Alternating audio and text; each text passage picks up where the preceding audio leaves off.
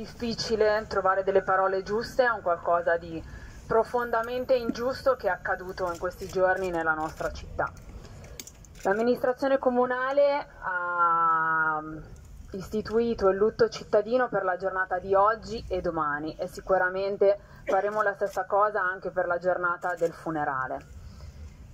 Abbiamo scelto questo luogo perché è un luogo simbolo, un luogo simbolo come vedete abbiamo scelto questa panchina rossa, la panchina rossa, che rappresenta, eh, purtroppo da oggi abbiamo una testimonial, cosa che non volevamo in alcun modo avere sul territorio, eh, rappresenta il no alla violenza sulle donne, no a nessun tipo di violenza.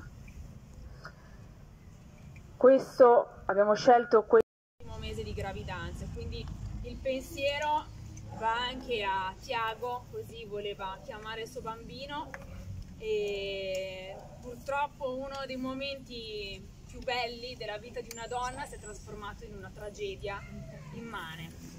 E quindi ci stringiamo davvero con un grande abbraccio, lasciando questo piccolo pensiero da parte dell'amministrazione comunale tutta a Giulia e al suo bimbo come fanno, stanno facendo.